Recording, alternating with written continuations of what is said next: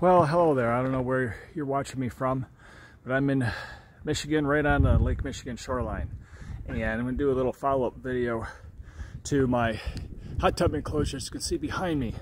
So I'm to flip this. Okay, well, I did a little modif modification to the, the top cover, not to the sides, but to the top cover. Because even though I was getting heavy rainfalls before snow set in, I was getting a lot of sagging and I was afraid that that foam board was going to crack and break. I tried supporting it by putting stuff between the, the cover and the hot tub and it just wasn't working. So I did some modifying and I want to get into that. But as you can see, um, over this weekend here, just before it's recording, in fact, even today, we got a lot of snow. I think a lot of areas got over a foot of snow blowing. It started off heavy and now it's turned lighter. So let me step down a little bit. So I just started doing some shoveling. I got to do some more shoveling so I can get to this thing.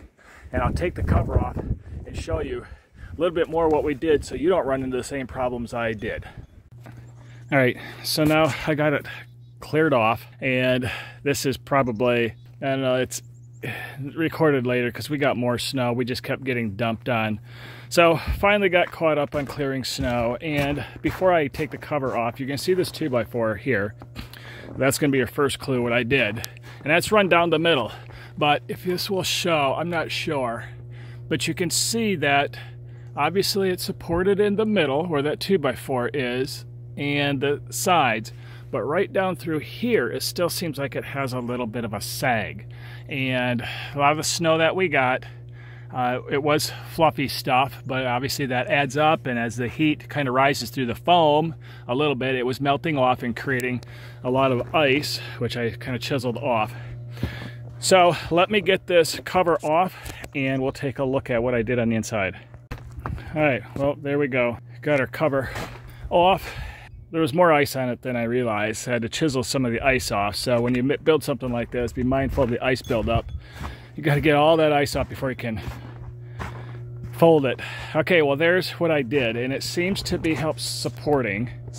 So I just took, this is an eight foot two by four, and I wanted to leave extra just because I wasn't sure if the front and the back were gonna bow out because what happens is something on these hot tubs that I noticed on this one and another one that as they start to get soft, they push out on the sides. And I start to see the side bowing out a little bit. You could probably see it more on this side here, a little bit of bowing there. And I wasn't sure if I was gonna get that same bowing effect, you know, front to back. So I left the extra and I could probably cut it off and just leave maybe an inch and a half to two inches sticking out. But that's what I did.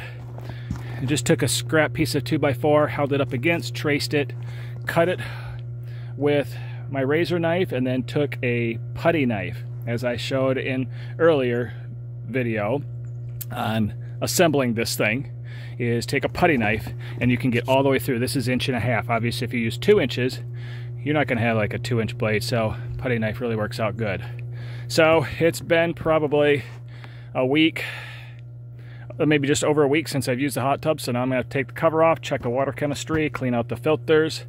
Um, and as you can see, we got we got a bunch of snow and some of it has settled on the railings. So it's holding up so far. Um, I turned the temperature down a bit when I know I'm not going to be using it for a while. Um, and I might even turn it off, you know, about every other day for the night. Just don't let it cool down too much. So I'm going to see how much longer in the winter that I'm going to be able to use this, and I'll keep you updated. So there we go, a little bit of reinforcement on the cover.